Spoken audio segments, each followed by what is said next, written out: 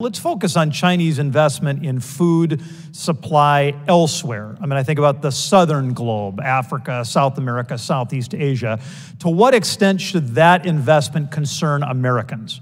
The Communist Party's actions to try to lock up um, major supplies of commodities and goods, probably including food, but also certainly uh, rare earths and materials, cobalt and things that go into uh, everything from regular consumer products to uh, military goods, um, is part of a grand strategy. It's not just haphazard, it's not just about making a buck.